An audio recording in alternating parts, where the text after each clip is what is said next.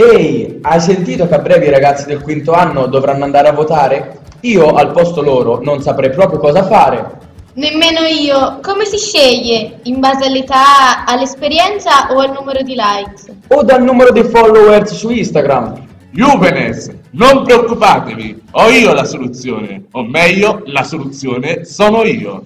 Marcus Tullius Cicero, per gli amici Cicerone, vir bonus dicendi peritus e infallibile avvocato. Ma, Ma tu sei troppo vecchio! Historia magistra vite, Juvenes, e io, dall'alto della mia esperienza politica, ho molto da insegnarvi in materia. Posizione delle prime orazioni. Arrivò a comporne 100, ma noi ne leggiamo solo 58. Esse riflettono lo stretto legame tra l'arte della retorica e l'impegno politico, in particolare le orazioni controverre e Catilina.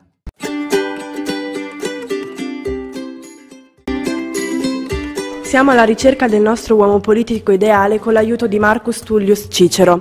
Per Cicerone, se ancora non l'avete capito, costui è anche e soprattutto un maestro nell'arte della parola. Nel primo libro del De Oratore, la nostra guida approfondisce questo aspetto.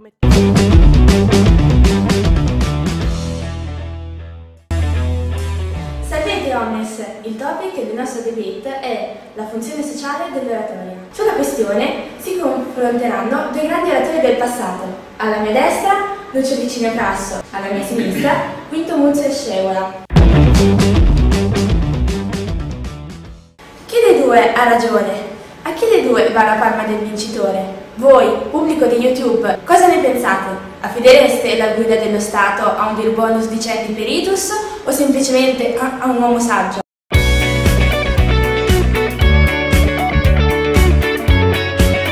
Vale.